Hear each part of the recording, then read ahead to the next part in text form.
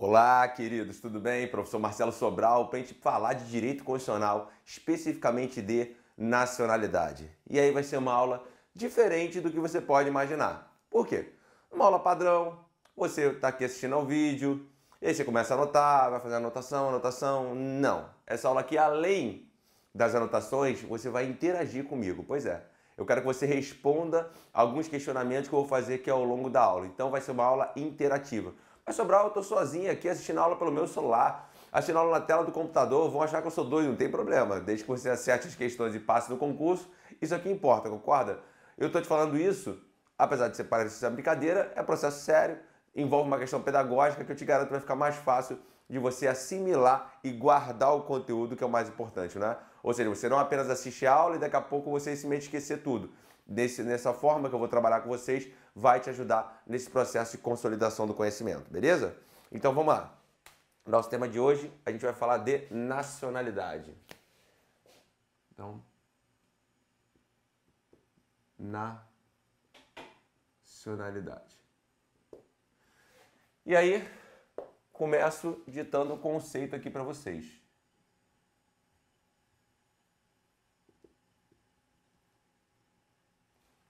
Anota aí o conceito, por favor. Põe aí. Vínculo é o vínculo que liga um cidadão, é um vínculo que liga um cidadão a um determinado país. É o vínculo, a nacionalidade é o vínculo que liga um cidadão a um determinado país. Beleza, aí você anotou. Aí, às vezes, se você for ler livro de doutrina, livro de direito constitucional, tem até um conceito bem mais. Opa! Tem até um conceito bem mais completo, bem mais robusto. Tem necessidade disso para fim de prova? Não, não tem. Basta você usar esse conceito que eu estou trabalhando. E ter essa noção, ou seja, você, como cidadão brasileiro, é porque você tem um vínculo com o país República Federativa do Brasil. É isso. O vínculo. O que é nacionalidade? É o vínculo que te liga ao Brasil. Basicamente é isso, beleza? Tá bom. E essa nacionalidade, ela pode ser adquirida de duas formas. Ela pode ser uma nacionalidade primária e ela pode ser uma nacionalidade derivada. Nacionalidade primária é o que você já deve ter ouvido falar do chamado brasileiro nato. E nacionalidade derivada é a chamada do brasileiro naturalizado. O brasileiro nato é aquele que já nasceu brasileiro. O brasileiro naturalizado é aquele que se tornou brasileiro. Então vamos lá. Hipóteses.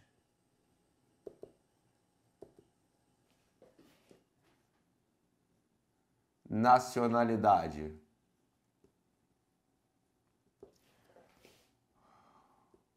Originária ou primária?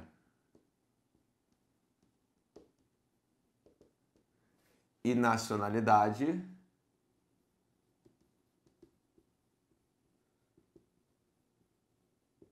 derivada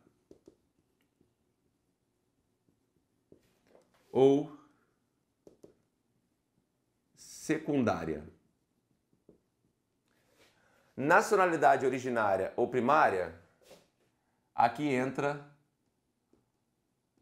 o brasileiro nato. E como nacionalidade derivada ou secundária, aqui entra o brasileiro naturalizado.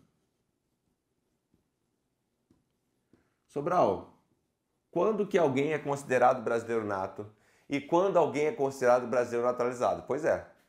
Aí é isso que eu vou trabalhar aqui na conversa com vocês. Aqui eu tenho três hipóteses e aqui eu tenho também três hipóteses.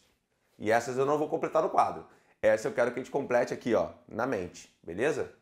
Então, de novo, estamos falando de nacionalidade, você falou para mim que, em termos de conceito, nada mais é que o vínculo que liga um, fala, cidadão, a um determinado país. Você é cidadão brasileiro, logo seu vínculo é com a República Federativa do Brasil. E esse vínculo de nacionalidade pode ser adquirido de forma, fala, originária ou primária, é o chamado brasileiro nato, é aquele cara que já nasceu brasileiro, ou então a nacionalidade derivada secundária, é aquele cara que era estrangeiro e adquiriu a nacionalidade brasileira. Completa no seu caderninho, vai. O brasileiro nato, ele é brasileiro nato desde origem. Ele é brasileiro desde origem. Enquanto o brasileiro naturalizado, anota aí, era estrangeiro, era estrangeiro e adquiriu a nacionalidade brasileira. Beleza? Então, isso tem que ficar bem em mente. Brasileiro nato é o cara que nasceu brasileiro. Brasileiro naturalizado era estrangeiro e adquiriu a nacionalidade brasileira. Beleza? Show de bola. Tá bom. Mas quando, quando eu considero alguém brasileiro nato e quando eu considero alguém brasileiro naturalizado? Aí você vai lembrar. Ah, o Sobral desenhou no quadro que para ser brasileiro nato, três hipóteses. Para ser brasileiro naturalizado, três hipóteses. E é isso que a gente vai completar aqui agora, junto com o seu material, beleza? Então vamos lá. Pega aí o seu material e você vai ler comigo o artigo 12 da Constituição Federal. Você percebe que de cara ele fala, artigo 12, são brasileiros, inciso 1, natos. Então, e se você observar, tem quantas alíneas aí? Tem quantas letrinhas? Três. A, B e C. De novo, vamos devagarinho, ó. Artigo 12, são brasileiros. Inciso 1, natos. Tem quantas letrinhas aí embaixo? A gente chama de alíneas, essas letrinhas. Alíneas A, B e C. Então é porque são três hipóteses ok? Tranquilo? Do brasileiro nato. Aí vamos lá. A linha A. Os nascidos na República Federativa do Brasil, ainda que de pais estrangeiros. Vamos ler até aqui. Então, são brasileiros natos, os nascidos na República Federativa do Brasil, ainda que de pais estrangeiros. Repete comigo, vamos embora, interage. Você não quer passar no concurso? Confia em mim, você vai conseguir. São brasileiros, o quê? Natos, os nascidos na República Federativa do Brasil, ainda que de pais estrangeiros. Vamos parar aqui. Logo, o nosso primeiro critério de nacionalidade é o critério solo, onde você nasceu. Não importa se seu pai é brasileiro ou se seu pai é estrangeiro. Tanto que a Constituição fala, ainda que de pais estrangeiros. Então, os brasileiros que têm filhos no Brasil, os filhos são brasileiros natos. Os estrangeiros que tenham filhos no Brasil, também os filhos serão considerados brasileiros natos. Sempre não. Aí tem uma exceção. Então, de novo, mas primeiro eu quero você entender a regra para depois partir para exceção. Vamos de novo? Vamos lá. Artigo 12, leia. São brasileiros. Inciso 1, natos. A linha A, os nascidos na República Federativa do Brasil, ainda que de pais estrangeiros. Vírgula. Desde que estes não estejam a serviço de seu país. Desde que estes, perceba, ele falou estes, no plural, os pais estrangeiros. Desde que estes não estejam a serviço de seu país. Mas vamos entender, vamos interpretar essa expressão. Vamos lá. Então, você tem aqui ó, o Brasil. E aí? Nossa, meu Brasil tá péssimo, né? Mas finge que isso aqui é o Brasil. Quem nasceu aqui, ó, nasceu aqui, nasceu aqui, nasceu aqui, nasceu aqui, é tudo brasileiro nato. E aí, ó, esse aqui, ó, pais brasileiros. E esse aqui, ó, pais estrangeiros. Beleza? Ambos brasileiros nato? Sim. Esse aqui, ó, olha agora. O exemplo. Pai brasileiro e mãe estrangeira. Também vai ser considerado brasileiro nato? Também vai ser considerado brasileiro nato. Por quê? Porque a regra de exceção ambos os pais devem ser estrangeiros. Sobral, e se inverter? Mãe brasileira e pai estrangeiro, dá no mesmo. Se inverter a mesma coisa. Ou seja, nessas três hipóteses aqui, mas Sobral aqui ambos são estrangeiros, mas se eu só falar pais estrangeiros, eles são brasileiros nato, os filhos, tá? Eu ainda não coloquei uma condicionante aqui. Quando é que vai mudar? Aqui, ó. Agora, ó. Pais estrangeiros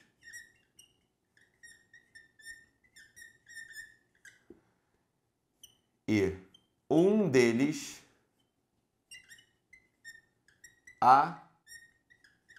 serviço de seu país. Nesse caso, não. Aí vamos lá. Aqui. Não é brasileiro nato. Aí eu tenho certeza que para a maioria de vocês a pergunta vem à cabeça. Ah, então ele é o quê? Não sei. Mas ele, se o pai é britânico, ele vai ser inglês? Não sei. A gente precisa saber a Constituição inglesa, as normas inglesas? Na tua prova só cai a Constituição brasileira.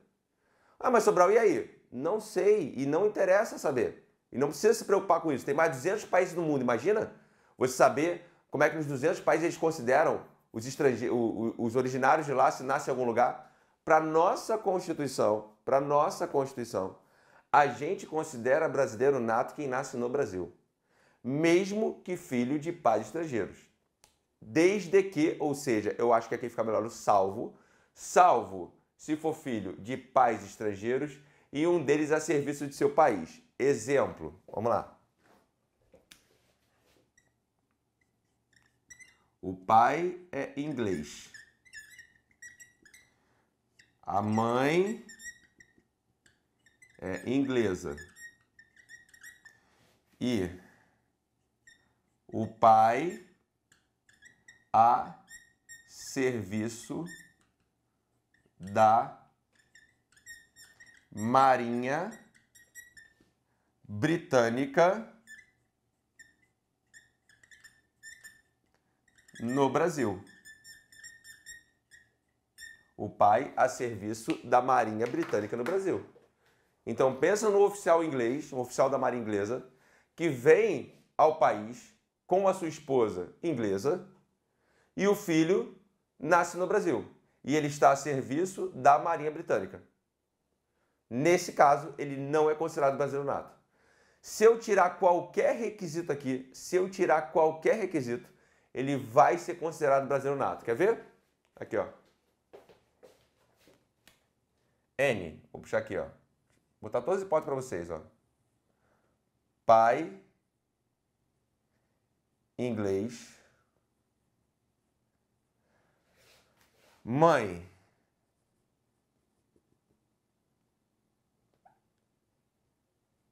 Pai inglês. Mãe brasileira. E aí, o pai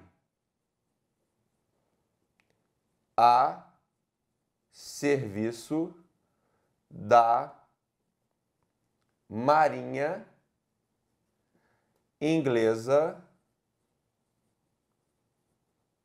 no Brasil. E aí, gente? E Sobral? Tá a serviço da Inglaterra, não importa. Ambos os pais são estrangeiros? Não. Então o filho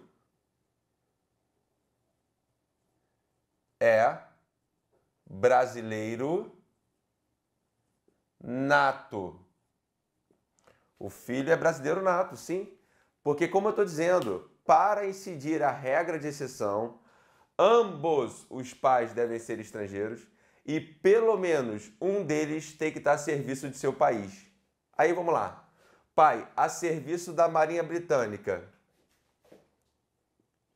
E se estivesse a serviço da Marinha Espanhola. Né? Por algum motivo, apesar de ele ser um oficial da Marinha Inglesa, por um convênio entre Inglaterra e Espanha, ele veio ao Brasil a serviço da Marinha Espanhola. Vamos lá seta para baixo. Filha brasileiro nato. Caramba, Sobral! Ambos os pais estrangeiros. O pai está a serviço, mas o filho é brasileiro nato. Sim, porque ele não está a serviço de seu país. Não é a serviço de qualquer país para entrar na regra de exceção. Então, gente, eu vou bater várias vezes aqui com essa questão da regra de exceção com vocês. Eu vou pegar agora esse quadro e vou ler de novo. Vamos lá. Primeiro critério de nacionalidade, anota assim, ó, jus solis. Jus quer dizer direito. Solis quer dizer solo, ou seja, é o critério do solo, onde você nasce. São brasileiros natos, os nascidos na República Federativa do Brasil. Ainda que filho de pais estrangeiros. Não estou lendo a regra com vocês, ó. Nasceu na República Federativa do Brasil? Nasceu. Pai é brasileiro, beleza. Nasceu na República Federativa do Brasil? Nasceu. Pai é estrangeiro, beleza. O boliviano veio com a sua esposa passear no Rio de Janeiro de férias, curtir praia em Copacabana. A esposa estava grávida. O moleque nasceu no Brasil. É brasileiro nato? É. Tem alguém a serviço aqui? Não, é brasileiro nato. Então, ou seja, o que eu quero que você olhe, gente? Nasceu aqui, regra, regra. Importa se o pai é brasileiro ou estrangeiro? Regra? Não. Porque o primeiro critério é o critério solo. Não importa se o pai é brasileiro ou estrangeiro. Ah, Sobral, beleza. Mas essa é uma regra absoluta? Não. Tem uma exceção? Tem. Para configurar a exceção tem requisitos? Tem. Quais são? Primeiro, basta o pai ou a mãe ser estrangeiro? Não ambos os pais devem ser estrangeiros. E para incidir a regra de exceção, além de ambos os pais devem ser estrangeiros, pelo menos um deles tem que estar a serviço de qualquer país, de qualquer país, não, a serviço de seu país. Logo, dando exemplo, pai inglês, mãe inglesa, ambos estrangeiros, o pai a serviço da Marinha Britânica no Brasil. O filho é brasileiro nato? Não, o Brasil não considera esse moleque brasileiro nato. Tá, mas Sobral, por que, que tem essa regra? Porque normalmente, nesses casos, se você está a serviço de seu país em outro país, o seu país de origem te considera nacional de lá. Nesses casos, é comum que a Inglaterra, por exemplo, considere esse molequinho inglesinho nato. Mas como eu disse, você precisa se preocupar com isso? Não, isso é um problema lá do ordenamento jurídico inglês. Ah, e se o moleque fosse filho de norueguês, ou filho de japonês, ou filho de chinês? Não importa. Você imagina, você já tem que saber a Constituição brasileira, você tem que saber o ordenamento constitucional de cada um desses países? Não importa. Beleza? Vai na minha. Então vamos de novo. É brasileiro nato, primeira regra, fala para mim, quem nasce no Brasil, ainda que filho de pais estrangeiros. Mas tem uma exceção? Tem. Ou seja, qual é a exceção? vai nascer no Brasil e não será considerado brasileiro nato. Quando isso acontece? Quando for filho de pais estrangeiros e um deles a serviço de seu país. Logo, vamos lá, pai inglês, mãe inglesa. O pai, por exemplo, está a serviço da Marinha Britânica no Brasil. Beleza, decidiu a regra de exceção. Ambos os pais estrangeiros e o pai está a serviço de seu país, beleza? Mas peraí, Sobral, se o pai foi inglês e a mãe brasileira e o pai a serviço da marinha inglesa no Brasil, nesse caso, é brasileiro nato? É. Por quê? Porque não tem todos os requisitos da regra de exceção. E quais são os requisitos da regra de exceção? O primeiro é que ambos os pais sejam estrangeiros. Enquanto aqui apenas o pai é estrangeiro. Isso aqui é ótimo para fazer uma pegadinha de prova. Porque bota o pai estrangeiro e a serviço da Inglaterra mas sendo que a mãe é brasileira. Se a mãe é brasileira, esse moleque é brasileiro nato. Ou mesma coisa se fosse o contrário. A mãe inglesa e o pai brasileiro, o moleque nasceu no Brasil, o moleque é brasileiro nato. Ou então a outra maldade aqui, ambos os pais estrangeiros, por exemplo, da Inglaterra. E o pai está a serviço da Marinha Espanhola. É brasileiro nato? É brasileiro nato. Por que vai ser brasileiro nato? Porque não atende a todas as regras de exceção. E quais são os requisitos da regra de exceção? Fala ambos os pais estrangeiros e pelo menos um deles a serviço de seu país. De novo, ó. Eu quero que você construa um raciocínio comigo falando desses três tópicos. Qual é a regra de exceção? Ou seja, para quem nasceu no Brasil e não é considerado brasileiro nato. Qual é a regra de exceção? Para quem nasce no Brasil e não é considerado brasileiro nato. Repito, qual é a regra de exceção? para quem nasce no Brasil e não é considerado brasileiro nato. Ambos os pais estrangeiros e pelo menos um deles a serviço de seu país. De novo, ambos os pais estrangeiros e pelo menos fala um deles a serviço de seu país. De novo, ambos os pais estrangeiros e pelo menos um deles a serviço de seu país. Show de bola? Tá entendido aqui? Beleza? Ok, top. Então, de novo, da tô, tô na primeira regra, tá vendo? Tô indo devagarinho com você. A primeira regra é: quem é considerado brasileiro nato? Os nascidos na República Federativa do Brasil, ainda que filho de pais estrangeiros. Desde que os pais, né? Desde que, ou eu prefiro falar salvo, salvo se os pais forem estrangeiros e pelo menos um deles a serviço de seu país. Se o pai é estrangeiro, a mãe é brasileira, não importa se o pai está a serviço do seu país o moleque é brasileiro nato.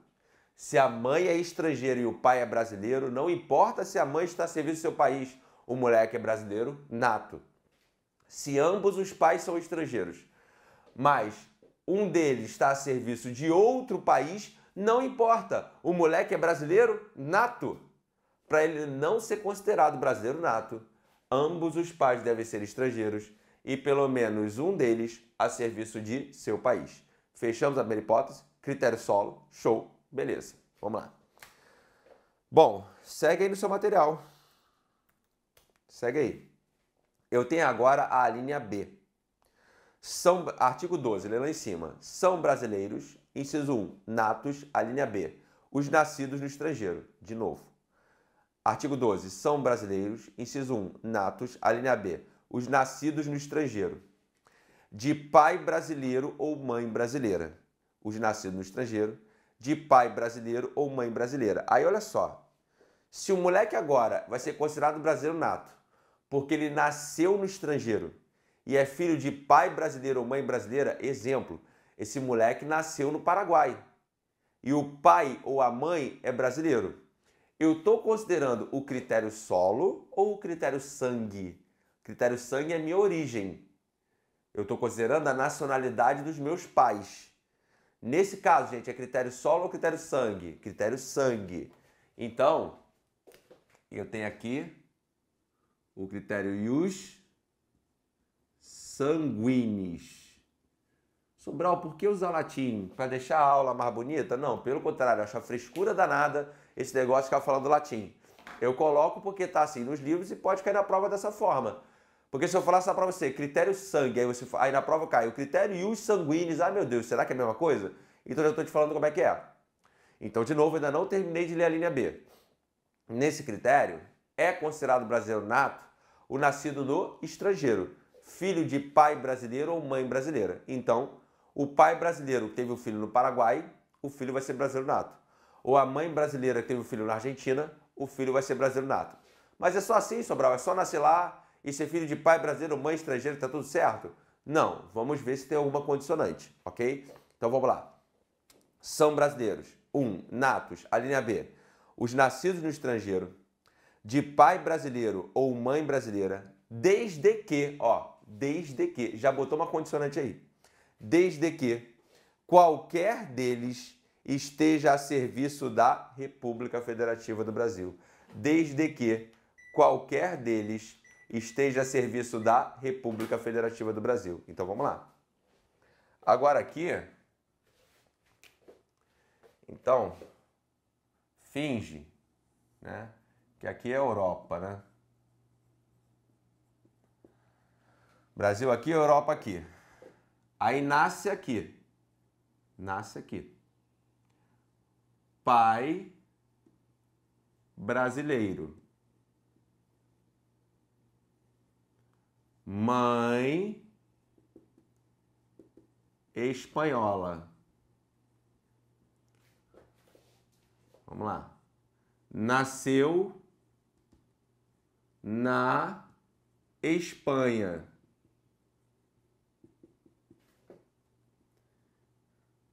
Pai a serviço da Marinha do Brasil. E aí, gente? Esse moleque é brasileiro nato? É. Mas Sobral, agora só o pai é brasileiro. Pois é. Nessa regra aqui de sangue, leia comigo de novo a linha B. Os nascidos no estrangeiro de pai brasileiro ou mãe brasileira. Ou, aqui não precisa ser os dois. Desde que qualquer destes, ou seja, seja o pai brasileiro, seja a mãe brasileira, a serviço da República Federativa do Brasil. Tá bom, vou trocar o um exemplo. Vou botar aqui, ó, N, nasceu aqui. Ó. Pai francês, mãe brasileira. Vamos lá. Nasceu na França. Mãe a serviço da FAB, Força Aérea Brasileira. A mãe, sargento da FAB, está lá a serviço da FAB na França. Moleque é brasileiro? Moleque é brasileiro. Perceba, pai brasileiro ou mãe brasileira pai brasileiro ou mãe brasileira. O requisito é que esteja a serviço, a serviço da República Federativa do Brasil. Tá, mas olha só, gente. Esse a serviço da RFB. A serviço da RFB. O que entra no conceito aqui de República Federativa do Brasil? Porque, por exemplo, eu, Sobral, resido no município do Rio de Janeiro, que fica no estado do Rio de Janeiro, que fica no país Brasil, certo? Então, o nosso país ele é dividido em três níveis. Você tem governo municipal, você tem governo estadual e você tem governo federal. Assim como você tem os servidores públicos, né? Municipais, os servidores públicos estaduais e os servidores públicos federais. Aqui eu estou falando só de militar federal, né? Eu falei de um militar da Marinha e de um militar da Aeronáutica. Tá. E se, por exemplo, pegar um exemplo aqui, um policial militar do Rio de Janeiro está a serviço do Estado do Rio de Janeiro, fazendo um curso de preparação, sei lá, na SWAT lá nos Estados Unidos, certo? Então vamos lá. Europa, agora eu vou botar aqui, ó. EUA, Estados Unidos. Nasce aqui. Aí vamos lá. O pai é da PEMERGE. O pai, perdão, vou botar a serviço da PEMERGE. Opa. Pai a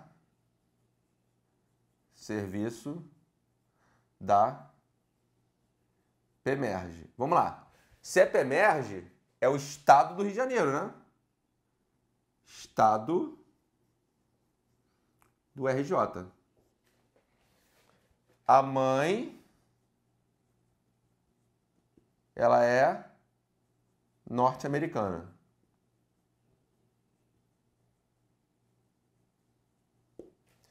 Então, estar a serviço da República Federativa do Brasil é estar a serviço do governo federal?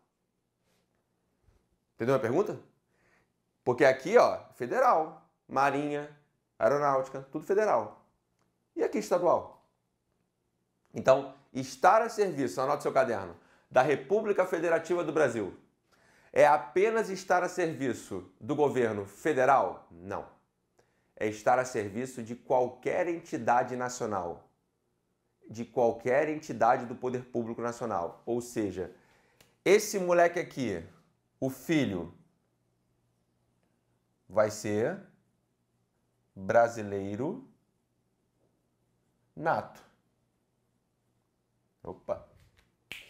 O filho vai ser brasileiro nato.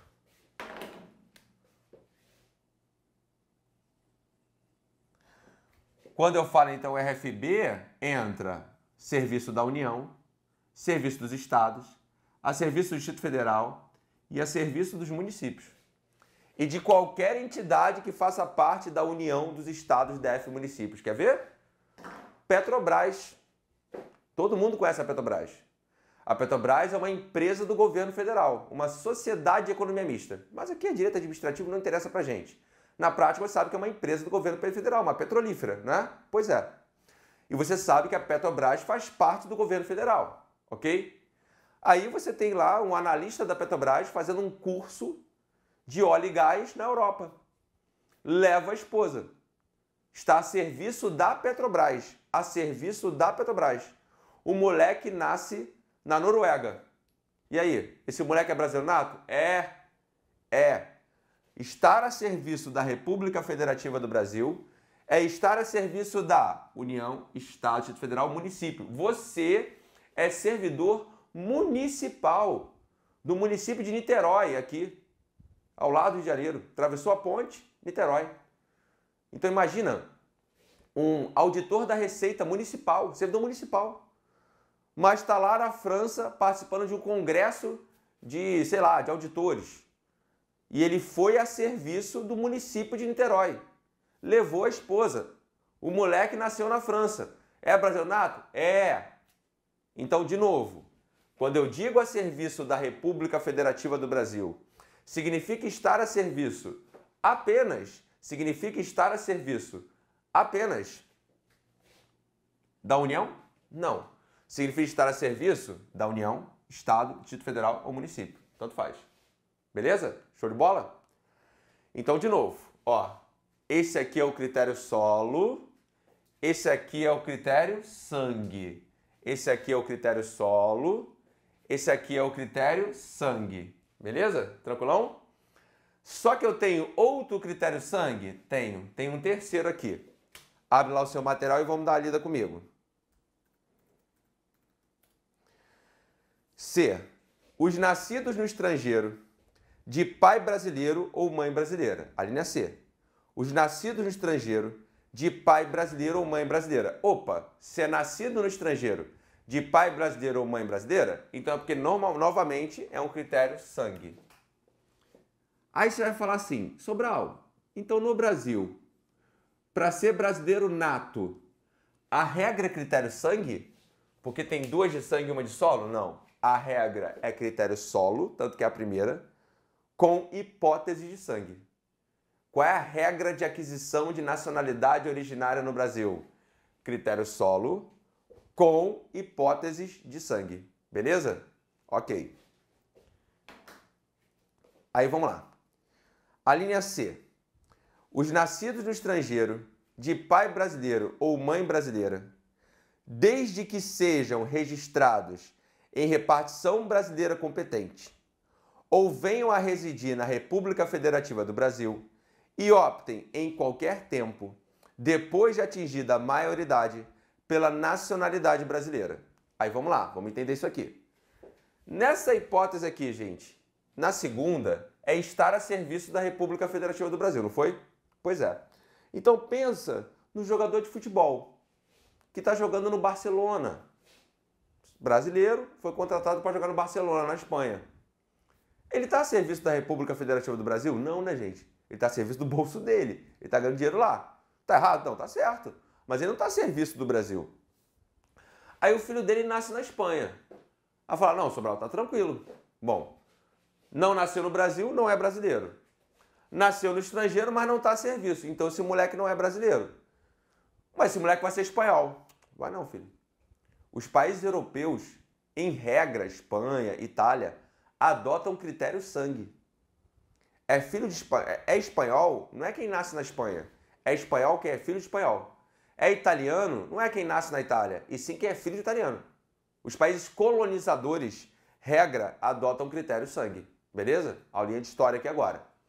Exatamente por isso, porque como eles saíam para a colonização, então não importa onde nascer. A regra é que é espanhol, filho de espanhol. Então esse moleque nasce lá e ele está numa condição de apátrida.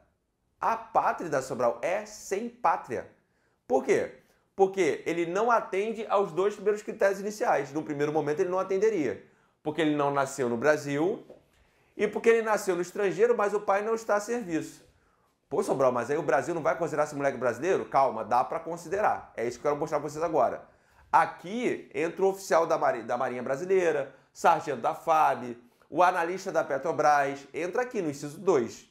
O jogador de futebol vai entrar na linha C, perdão. Aqui é a linha B. O jogador de futebol vai entrar na linha C. O moleque nasce no estrangeiro e aí eu tenho condicionantes específicas para isso. Vamos dar lidinha? Vamos lá.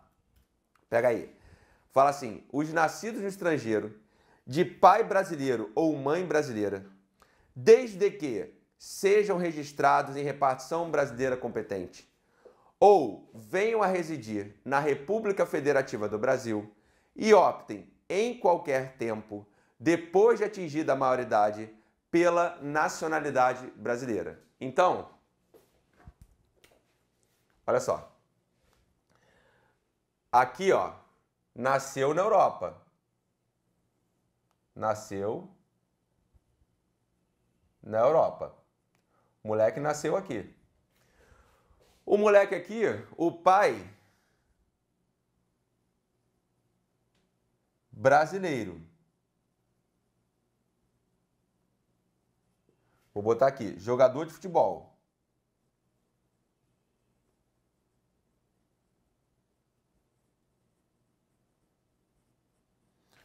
Pai é brasileiro, jogador de futebol. A mãe, vou botar aqui. Aqui eu tinha botado mãe norte-americana. Não, tá jogando na Espanha. A mãe vai ser uma espanhola. Vamos lá. E o moleque nasceu na Espanha. Como é que faz nesse caso aqui para esse moleque ser considerado brasileiro nato? Eu vou só apagar aqui, gente, senão eu vou ficar sem espaço, mas no caderno vocês podem deixar, tá? Jogador de futebol. Vamos ler de novo a linha C e entender a primeira hipótese os nascidos no estrangeiro, de pai brasileiro ou mãe brasileira, desde que sejam registrados em repartição brasileira competente. Então vamos lá.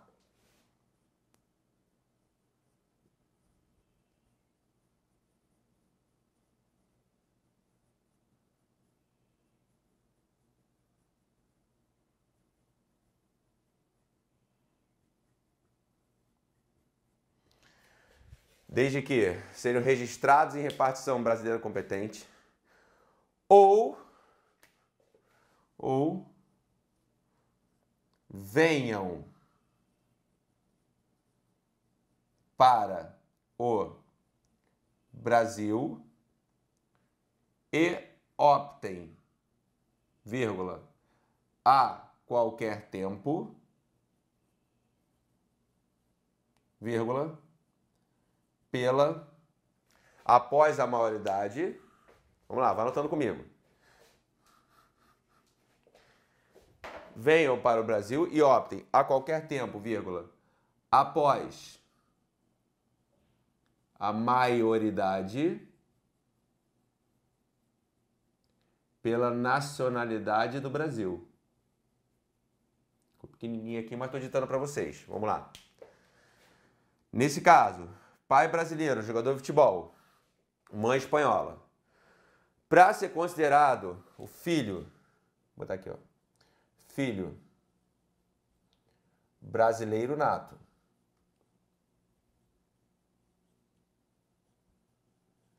Para ser considerado brasileiro nato, como é que faz?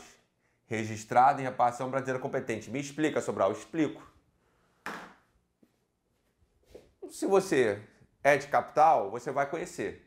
Nas capitais dos estados, normalmente você tem os consulados e as embaixadas, que são representações de outros países aqui no Brasil.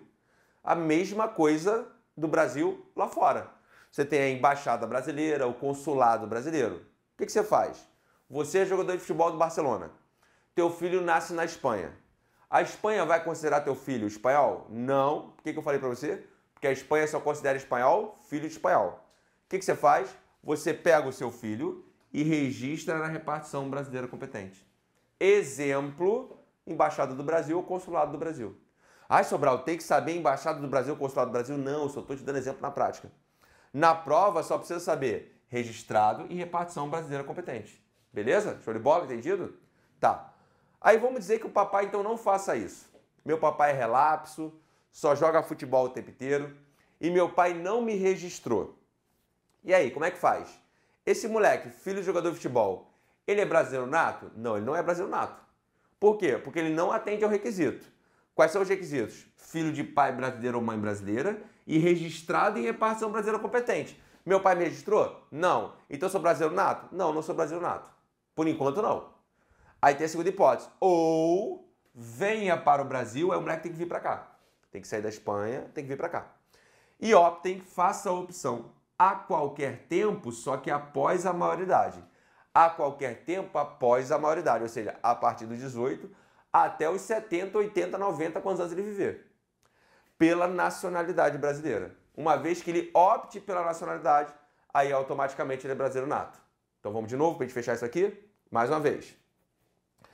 Filho de pai brasileiro ou mãe brasileira, tanto faz, aqui é um ou outro. Desde que, primeira hipótese, registre na repartição brasileira competente. O que significa registrar na repartição brasileira competente? Registrar onde? Lá no consulado. Registrar onde? Lá na Embaixada do Brasil. Ou então, venha para o Brasil e opte a qualquer tempo após a maioridade pela nacionalidade brasileira. Show de bola? Beleza? Deixa eu sei você pegar o quadro todo. Vamos lá. Bota em tela cheia para você dar um print na sua tela. Então, eu tenho aqui, gente, as três hipóteses de nacionalidade originária. A primeira, a segunda e a terceira aqui embaixo. Critério solo. Cri... Fazer o seguinte, ó. Isso aqui, ó. Ó. Ó. Um. Isso aqui, ó dois e aqui, ó. Três. Pronto. Hipótese 1, um, solo. Hipótese 2, sangue. Hipótese 3, sangue. Vou sair de novo, tá? Pega aí a tela toda. Ou seja, quem é considerado brasileiro nato? Quem é considerado brasileiro nato? Três hipóteses na tela para vocês. Primeiro, os nascidos na República Federativa do Brasil, filho de pai brasileiro ou mãe brasileira, salvo. Perdão, perdão, falei errado. Os nascidos na República Federativa do Brasil, ainda que de pais estrangeiros, salvo se ambos os pais forem estrangeiros e um deles a serviço do seu país. Se o pai é estrangeiro e a mãe é brasileira, é brasileiro nato. Ah, mas o pai está a serviço do seu país. Não interessa, é brasileiro nato. Se o pai é brasileiro e a mãe é estrangeira, é brasileiro nato, porque o pai é brasileiro. Para entrar na regra de exceção, ambos os pais devem ser estrangeiros e um deles a serviço de qualquer país? Não, a serviço de seu país. Critério sangue. Agora é pai brasileiro ou mãe brasileira. A serviço da República Federativa do Brasil. No primeiro caso, a serviço da Marinha, no segundo, a serviço da FAB. Mas, Sobral, estar a serviço da República Federativa do Brasil é a serviço só do governo federal? Não. União, Estado, DF, município. Se você é servidor municipal e está a serviço do município, você está a serviço da República Federativa do Brasil. Exemplo que eu dei aqui, pai a serviço da PEMERG, fazendo curso lá nos Estados Unidos. A serviço da PEMERG. O moleque é brasileiro nato. Agora, a famosa história do filho jogador de futebol. O pai é brasileiro, joga bola na Espanha e a mãe é espanhola. O moleque nasce na Espanha. Esse moleque é brasileiro nato? Depende. Se o quê? Registrar na repartição brasileira competente. Perceba, gente, nessa primeira hipótese, registrar na repartição brasileira competente, registrou o moleque lá e o moleque não precisa pisar em território nacional. O moleque não precisa pisar em território nacional. Registrou lá, pronto, está resolvido. Agora, se não registrar, tem uma segunda chance? Tem. Aí tem que fazer o quê? vir para o Brasil e optar a qualquer tempo, após a maioridade, pela nacionalidade brasileira. Show de bola? Beleza? Ok? Então deixa eu apagar esse quadro aqui agora.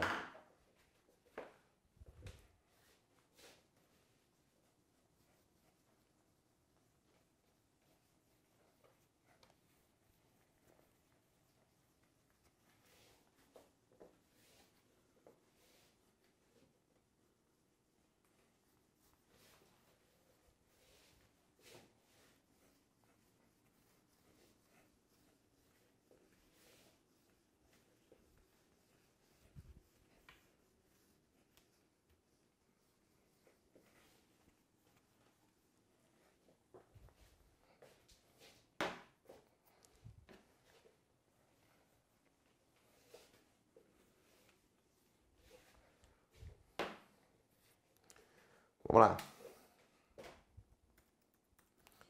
Agora, eu quero que você olhe no seu materialzinho, porque a gente acabou de aprender, né? Agora vamos trabalhar na prova. É, vida prática. Você está aqui estudando comigo porque você quer passar no concurso. Então vamos ver na prática como é que funciona isso que eu acabei de te ensinar. Primeira questão aí, uma questão do CESP, né, que chamou de Banca Sebrasp, uma prova de 2019, prova de auditor fiscal da Receita Estadual. Vamos lá, a questão fala assim: Felipe é brasileiro naturalizado e foi morar no Japão, onde se casou com Júlia, uma mexicana. Quando Júlia estava a serviço de seu país na Alemanha, nasceu Alberto, filho do casal, que não foi registrado no consulado brasileiro nem no mexicano. Aos 20 anos de idade, Alberto veio para o Brasil, onde instaurou residência e, ato contínuo, optou pela nacionalidade brasileira. Então, vamos lá. Eu tenho aqui na questão Felipe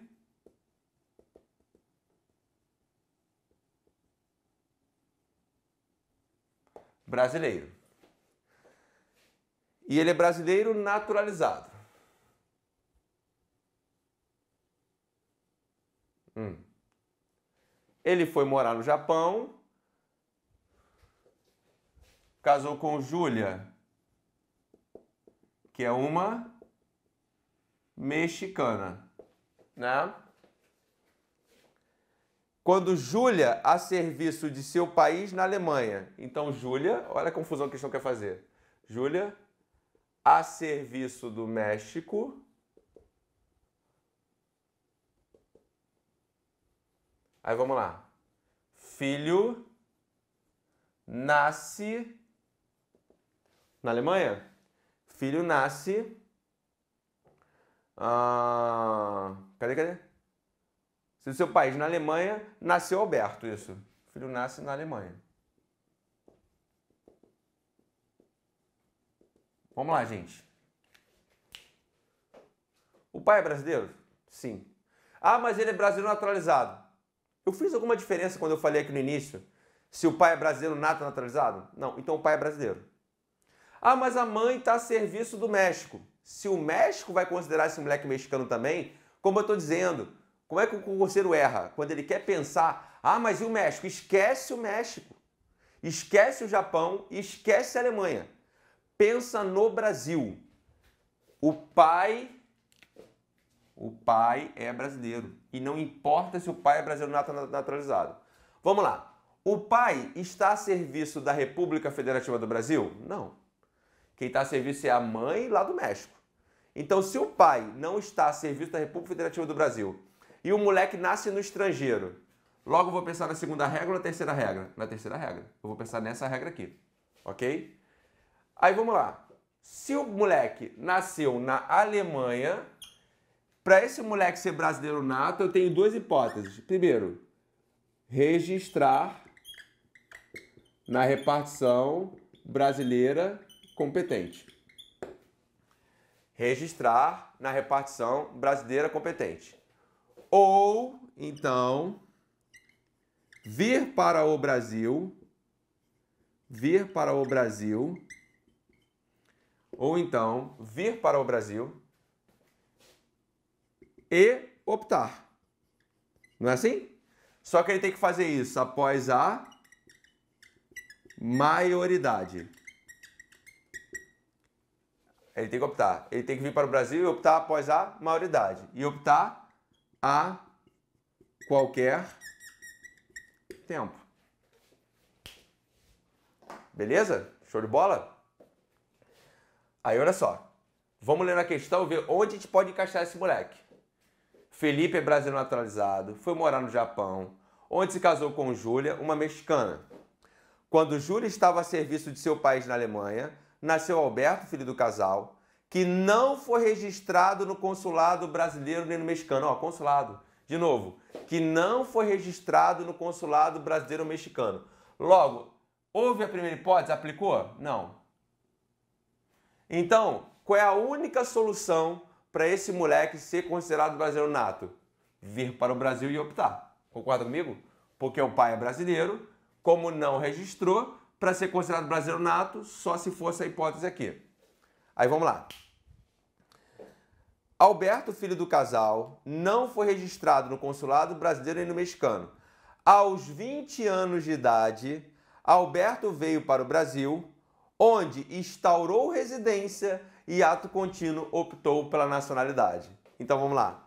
Maioridade. Oxe, cadê azul? Tá aqui. Maioridade. Ele tem 20 anos. E ele optou. E ele veio para o Brasil. Atendido todos os requisitos, gente? Sim. Veio para o Brasil e optou após a maioridade. Logo, gente, eu não quero nem ler as opções. Eu não quero nem ler as opções. Esse moleque é o quê? Esse moleque é brasileiro nato. Brasileiro nato. Ok? Esse moleque é brasileiro nato. Aí vamos lá. Nessa situação hipotética, no que diz respeito à nacionalidade, a Constituição Federal estabelece que Alberto, letra A, é alemão e brasileiro. Vamos lá, gente. A nossa Constituição vai dizer se ele é alemão? Não. É se tu pensar com essa cabeça, vai te ajudar em várias questões. Ah, mas a Alemanha esquece a Alemanha. Ah, e o México esquece o México. E o Japão esquece. E Marte, esquece Marte. Pensa só no Brasil. Letra B. Ele é brasileiro naturalizado, gente? Não. Letra C. Ele é brasileiro nato. Segunda. A respeito dos direitos e garantias fundamentais, julgo o item seguinte. Vamos lá. Outra do Sebrasp. Situação hipotética. João, cuja mãe é brasileira e cujo pai é espanhol e mora em Londres. Nasceu em país estrangeiro e não foi registrado em repartição brasileira competente. Então vamos lá. João.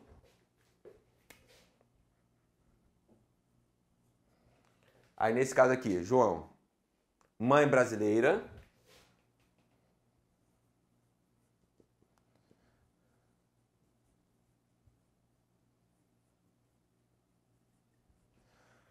E ainda, pai espanhol.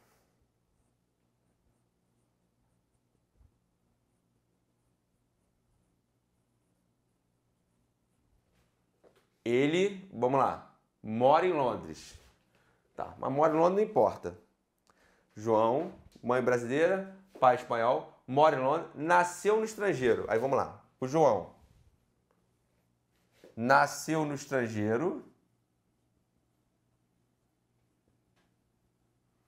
Realmente não importa o país aqui. Por que não importa o país? Porque eu já sei que a mãe é brasileira. Tá? Então não importa onde ele nasceu nasceu no estrangeiro, não foi registrado em repartição brasileira competente. Mesma coisa. Não registrou repartição brasileira competente. Não registrou repartição brasileira competente. Hoje, aos 21 anos de idade, ele reside no Brasil e pretende requerer a nacionalidade brasileira. Aí vamos lá. Hoje, ele tem 21 anos, ele reside no Brasil e ele, mais uma vez, vamos lá. Cadê, cadê, cadê? Pretende requerer nacionalidade brasileira. Ele pretende nacionalidade do Brasil. Beleza. Aí vamos lá.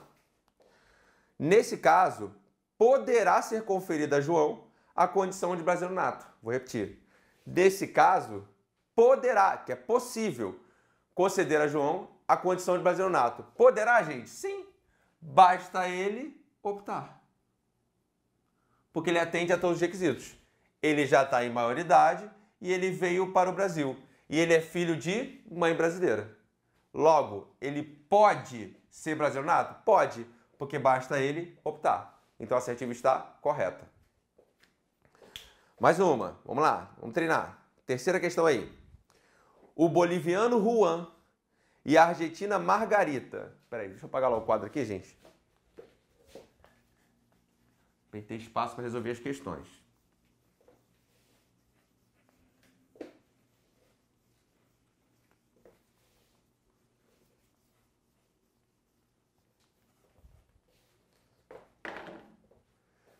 Boliviano Juan e a argentina Margarita são casados e residiram por alguns anos em território brasileiro. O boliviano Juan e a argentina Margarita são casados e residiram por alguns anos em território brasileiro. Então vamos lá. Juan boliviano. Margarita, Argentina.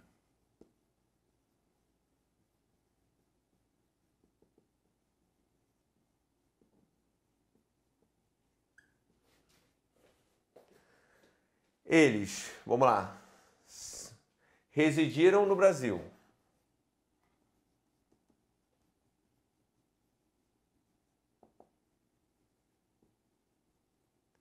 Eles residiram no Brasil.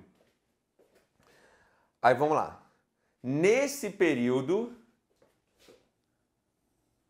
nesse período que residiram no Brasil, vamos lá. Nasceu Pablo. E aí, gente, vamos lá. Em algum momento, a questão está falando para gente que Juan está a serviço da Bolívia? Ou que Margarita está a serviço da Argentina? Não. Então, se são estrangeiros residindo no Brasil e o moleque nasceu no Brasil, esse moleque é brasileiro o quê? Nada. Eu já sei a resposta antes de olhar as opções. Você entendeu, Rocinho? Eu vou aplicar o que a gente aprendeu aqui agora.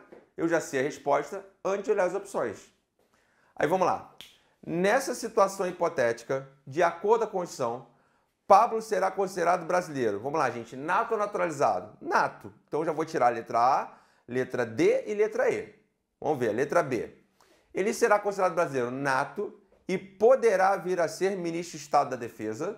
Já falo sobre isso. E letra C, nato, mas não poderá vir a ser presidente do Senado Federal. Aí deixa eu só te adiantar. Tem alguns cargos que são privativos de brasileiro nato. Um deles é o de ministro de Estado da Defesa. É o cara que está ligado às Forças Armadas.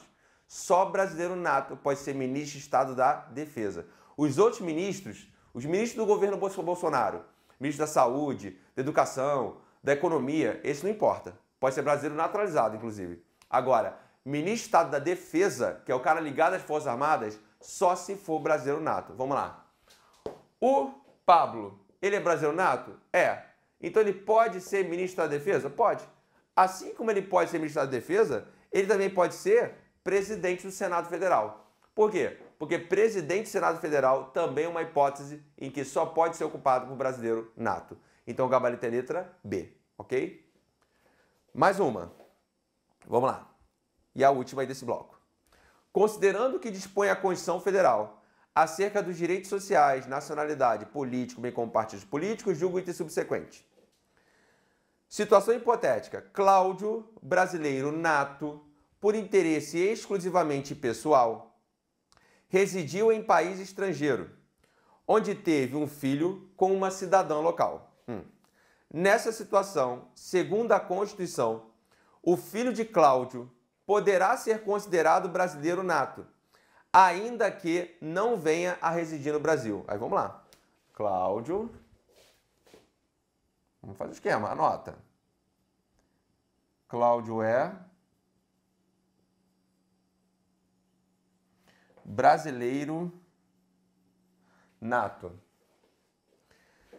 Vamos lá. Por interesse pessoal, ou seja, não está a serviço, residiu no estrangeiro.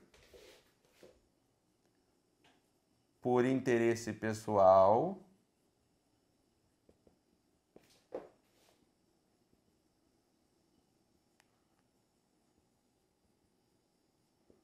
Residiu no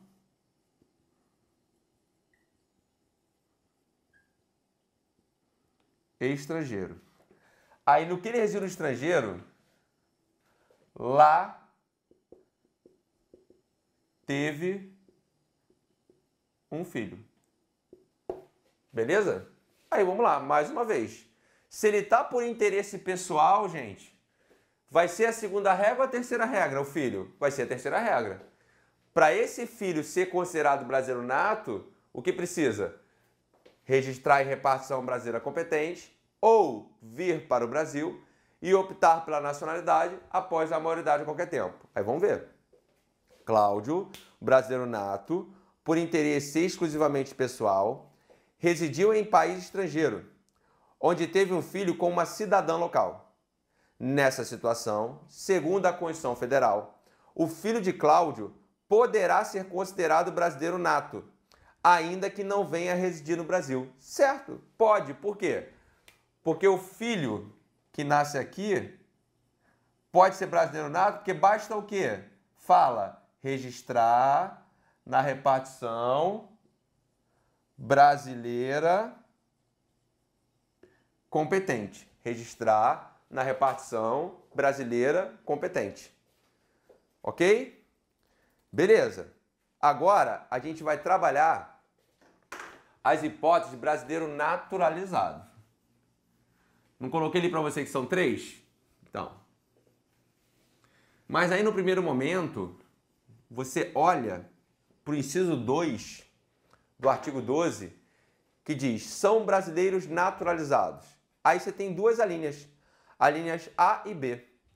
Aí fala, Sobral, você falou que são três? É porque essas duas eu divido em. vão ficar três, na verdade. Ó. A linha A fala assim: os que, na forma da lei, adquiram a nacionalidade brasileira. Aí vamos lá. Hipótese 1. Agora naturalizado, tá? Agora falando desse aqui. Na forma da lei, adquiram nacionalidade brasileira. Perceba, adquiram. Ele não era brasileiro. E essa forma da lei é a lei de imigração, que é uma lei de 2017, que cai na prova? Não. Só cai em prova que cobra direito internacional, gente. Na sua prova, você que está aqui comigo, cai direito constitucional. Direito internacional cai para diplomata, cai no Ministério Público Federal, para procurador da República. Aqui, meu amigo, você que está comigo, que não vai fazer essas provas, então para que, que você vai ler a lei de imigração? Aí lá tem os requisitos. Tanto tempo de residência, tem que estar tá em tal condição, assim, assim, assada, tem várias hipóteses. Então, os que na forma da lei adquiram. Como é que é essa forma? Como é que é essa forma? Não importa. Mas eu preciso te mostrar que existe essa possibilidade de você, na forma da lei, adquirir a nacionalidade brasileira. Então, essa primeira, só preciso que você saiba. Quem é brasileiro naturalizado? Quem, na forma da lei, adquire a nacionalidade brasileira. Que lei é essa? É a lei de imigração. O cara prova? Não. Tu vai estudar o cara prova? O que no cara prova? Não vai. Beleza? Aí vamos lá. Continua lendo a linha A comigo. Os que, na forma da lei, adquiram a nacionalidade brasileira exigida aos originários de países de língua portuguesa apenas residência por um ano ininterrupto e idoneidade moral. Aí vamos lá. 2. Exigência aos originários de países em que se fala a língua portuguesa.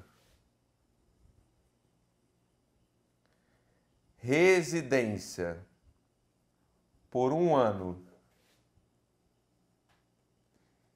ininterrupto e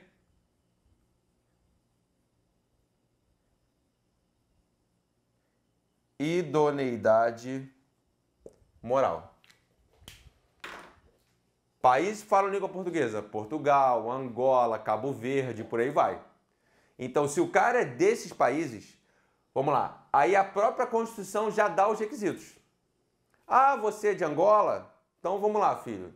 Você tem que estar morando pelo menos um ano aqui no Brasil e você tem que ter idoneidade moral. Nossa, o que é idôneo? Idôneo é o correto, né? aquele que age de forma exemplar. É um conceito aberto, concorda comigo? O que é agir de forma correta, de forma exemplar? É um conceito aberto, beleza? Então, eu tenho a primeira hipótese que é na forma da lei, que você não precisa se preocupar, e que nem cobra em prova isso aqui. Esse aqui cai em prova que é uma beleza. Quem vem de país que fala a língua portuguesa tem que ter um ano de residência e idoneidade moral. Mas, Sobral, e se o cara vem do Paraguai? O Paraguai não fala língua portuguesa. Se o cara vem da França, a França não fala língua portuguesa. Entra aqui? Não. Então entra onde? Então leia comigo a próxima hipótese. Leia comigo a próxima hipótese. Aí vamos lá. A linha B. Os estrangeiros de qualquer nacionalidade residentes na República Federativa do Brasil há mais de 15 anos ininterruptos e sem condenação penal, desde que requeiram a nacionalidade brasileira. Então, agora, os estrangeiros de qualquer nacionalidade. Então, três. Vou botar aqui do lado.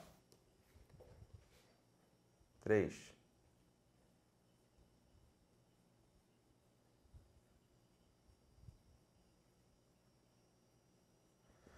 estrangeiros de qualquer nacionalidade. Estrangeiros de qualquer nacionalidade. Aí vamos lá. Residência.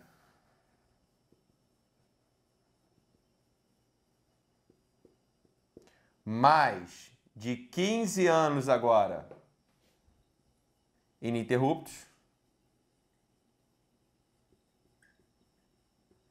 residência mais de 15 anos ininterruptos e ausência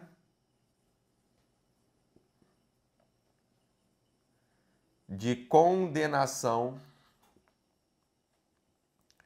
penal. Residência por mais de 15 anos ininterruptos e ausência de condenação penal. Aí olha só, gente. Eu quero trabalhar com vocês esses requisitos aqui.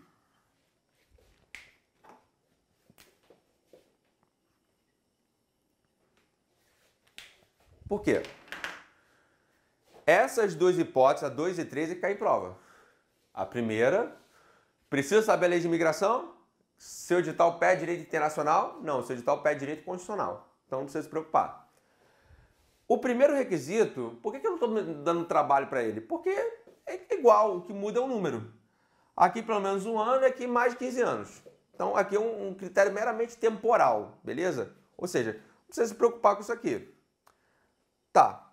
Mas aqui ele fala, além de um ano, idoneidade moral, e aqui, além de mais de 15 anos, ausência de condenação penal. Vamos entender. Filho, todos nós, todos nós, temos uma FAQ, Folha de Antecedentes Criminais. Nossa, Brown, tem isso não? Tem, filho. Todos nós temos uma FAQ, Folha de Antecedentes Criminais. Se você nunca cometeu um crime, a sua FAQ tem escrito o que lá? Nada. Ela está em branco. Se você nunca cometeu um crime, a sua FAQ está em branco, beleza? Então, nesse caso, você, por exemplo, é norueguês, mora no Brasil há 20 anos e nunca cometeu um crime. Você requer a nacionalidade brasileira. O Brasil vai te conceder, concorda comigo? Porque você atendeu aos dois requisitos, que são requisitos objetivos. Você vai apresentar a tua conta de luz, mostrando lá a tua residência, lá, mais de 20 anos, por exemplo, então bate os 15 e você vai mostrar a tua FAQ. São dois documentos, basicamente. Ó, tá aqui a conta de luz, mora aqui há mais de 20 anos esse endereço, e tá aqui a minha FAQ. Folha de antecedentes criminais. A pergunta é, gente, nessa hipótese em que você atende os requisitos, o estrangeiro, pode ser negada a esse estrangeiro a condição de brasileiro naturalizado? Não. Por quê? Porque ele atende aos dois requisitos, concorda comigo? Então, por isso é que a gente fala que nessa hipótese aqui a concessão da nacionalidade é ato vinculado. A concessão da nacionalidade é ato vinculado. Beleza? Tranquilão? Show? Tá entendido aqui? Por que, que é ato vinculado? E Sobral não conhece essa expressão. Ato vinculado porque ao poder público não há liberdade de escolha. Como assim? Se você preencher os requisitos, o poder público é obrigado a te dar a nacionalidade.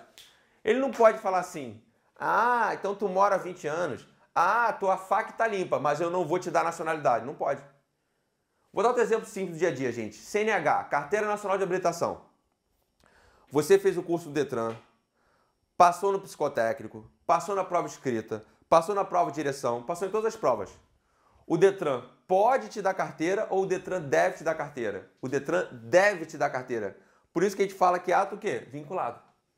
Quando você preenche requisitos o poder público é obrigado a fazer, é ato vinculado, ok? Tá bom, olha a diferença. Vem lá um angolano morando há um ano e meio em Copacabana. Beleza, tem mais de um ano ininterrupto aqui. Tá, e o que é ter idoneidade moral?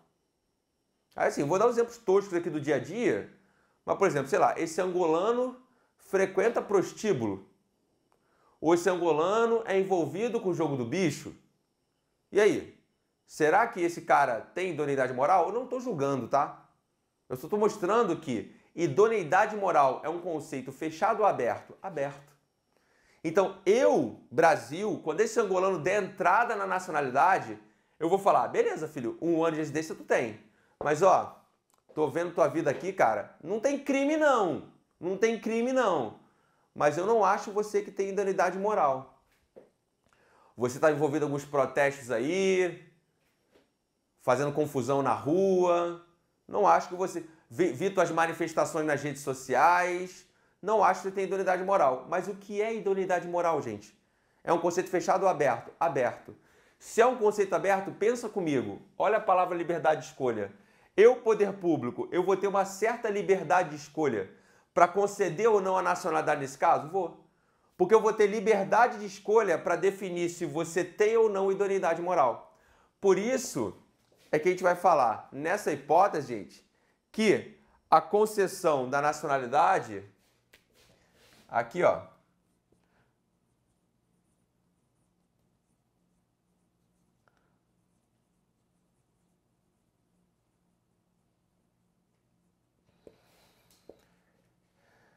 é ato discricionário.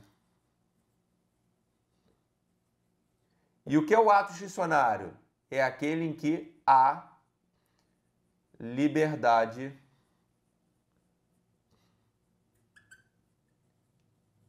de escolha. Por que, que há liberdade de escolha? Porque idoneidade moral é um conceito aberto. Porque a idoneidade moral é um conceito aberto. Cabe ao Brasil olhar para aquele determinado caso concreto e analisar se aquele cidadão tem ou não idoneidade moral. Beleza? Entendido aqui? Então deixa isso aí que você pegar o quadro todo. E aí eu coloquei para vocês ali as três hipóteses brasileiro naturalizado. Lendo ali comigo. A primeira hipótese, na forma da lei, quem adquiria a nacionalidade brasileira. Que lei é essa? A lei de imigração. Cai na sua prova de direito constitucional? Não, então não importa. Essas duas aqui não caem em prova, isso aqui despencam, cai toda hora. Porque é a história do 1 ano e do 15 anos. Aí é claro, gente, que a questão de prova vai inverter.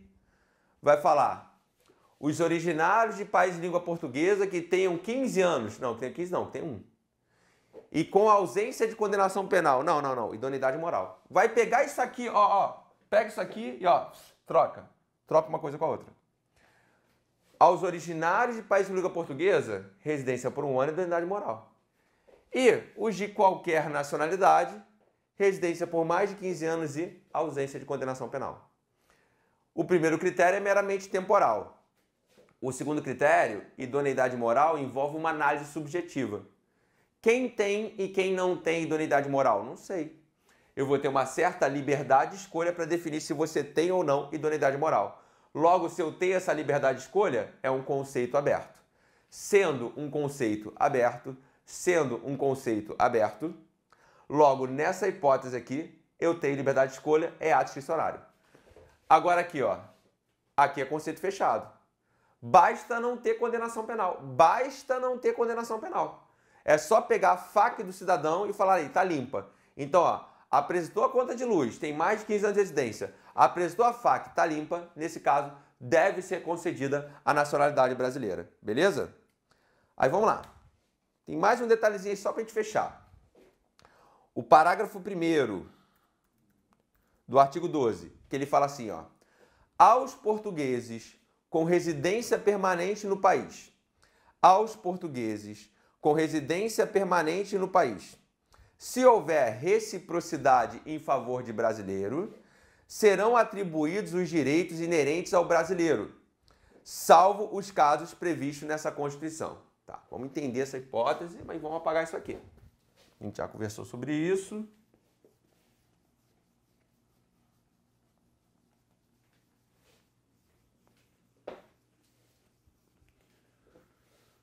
Uhum.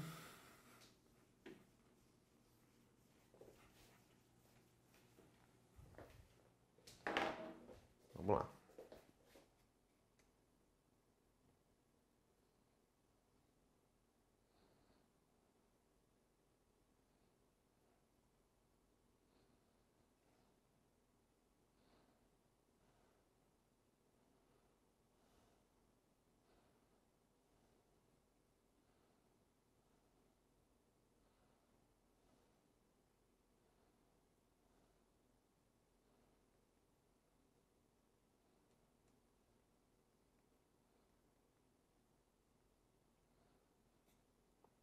Vamos lá. De novo, aos portugueses com residência permanente no país, se houver reciprocidade em favor de brasileiros. Então vamos lá. Português. Agora é português especificamente, não é originário a língua portuguesa. Com residência permanente no país, mas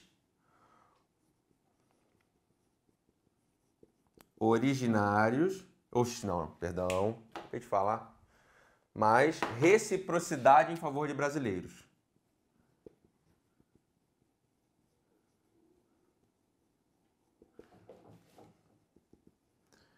Reciprocidade em favor de brasileiros. Tá, Sobral, o que significa essa reciprocidade em favor de brasileiros? É o seguinte: assim como o Brasil trata os portugueses aqui no Brasil, Portugal tem que tratar os brasileiros lá em Portugal. Ou seja, assim como eu dou esse tratamento ao português aqui no Brasil, Portugal tem que dar esse tratamento aos brasileiros lá em Portugal. Isso é reciprocidade, beleza? Então, de novo, agora é o português com residência permanente no país. E se houver reciprocidade em favor dos brasileiros, aí vamos lá, volta aqui. E se houver reciprocidade. Não está abrindo aqui, mano. Vamos lá. Lê de novo. Aos portugueses com residência permanente no país, se houver reciprocidade em favor de brasileiros, vamos lá serão atribuídos os direitos inerentes ao brasileiro, salvo os casos previstos nessa Constituição. Traduzindo isso, o português será tratado como um brasileiro naturalizado.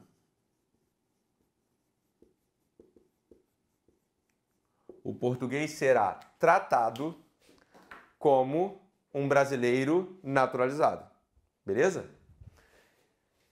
Então ele será um brasileiro naturalizado? Não, ele será tratado como. Ele será tratado como um brasileiro naturalizado. Beleza? Essa é a forma que a gente vai tratar ele. Ou seja, ele continua sendo português, mas é tratado como um brasileiro naturalizado. Ou seja, continua sendo apenas português. Ou seja, esse cara virou brasileiro? Não, esse cara, ele é apenas português, mas ele está sendo tratado como um brasileiro naturalizado. Aí vamos lá. Se ele é tratado como brasileiro naturalizado, ele pode votar? Pode. Pode fazer concurso público? Pode. Mas ele vai poder ser ministro de Estado da Defesa? Que eu já comentei com vocês aqui numa questão hoje. Ele vai poder ser ministro de Estado da Defesa? Não. Porque ministro de Estado da Defesa, eu já falei para vocês, é um cargo só de brasileiro nato. Eu vou tratar ele como tal. Por que isso, Sobral? Por causa dos laços históricos entre Brasil e Portugal. E mais, ah, então o Brasil é bonzinho com o português. Não, não é isso. Desde que haja reciprocidade em favor dos brasileiros lá em Portugal. Ou seja, que Portugal trate os brasileiros da mesma forma, ok? Então, a gente chama isso aqui, essa hipótese, de quase nacionalidade. Por que a gente chama de quase nacionalidade, gente? Porque ele chega a se naturalizar brasileiro? Não! O que, que eu estou falando? Ele continua sendo apenas português, mas ele é tratado como um brasileiro naturalizado. Aí, para ser tratado como um brasileiro naturalizado, basta ser português? Não. Além de ser português, ele tem que ter residência permanente no país e deve haver o quê? Reciprocidade em favor dos brasileiros lá em Portugal. Tá entendido isso aí, gente? De boa? Show. Vamos nessa então. Mais uma vez para o português com residência permanente no Brasil do país. 1. Um, se houver reciprocidade em favor dos brasileiros. 2. Esse português será brasileiro naturalizado? Ele será naturalizado? Não, ele será tratado como um brasileiro naturalizado. Logo, ele continua sendo apenas português. Como ele é tratado como ele não é efetivamente um brasileiro, por isso a gente chama essa hipótese de quase nacionalidade. Continua sendo português, continua sendo português, mas é tratado como